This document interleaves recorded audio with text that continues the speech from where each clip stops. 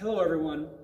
You may or may not know, but this gym here at Oak Hills was finished in 2013, and it is one of the favorite places, favorite spaces uh, in the ministry of Oak Hills. Uh, this last fall in 2021, we received a anonymous donation of $40,000 to uh, enhance the inside of this gym so that we could have, do more things in this gym, like have a worship service. So we took that $40,000 and we put some more money toward that and we were able to purchase these acoustic curtains around the outside of the gym here and this little speaker that you see up here in the top, that one speaker can uh, provide the sound we need for this entire gym. And that all finished early last week, enabling us to have our worship service in here last Sunday.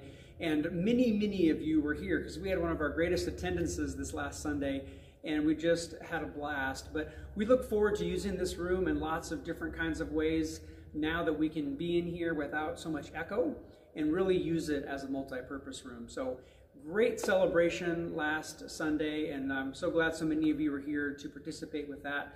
Uh, this Sunday, of course, we're back in the sanctuary, and we're starting a new series entitled Self out of uh, Luke chapter 9, and we look forward to starting that series this weekend.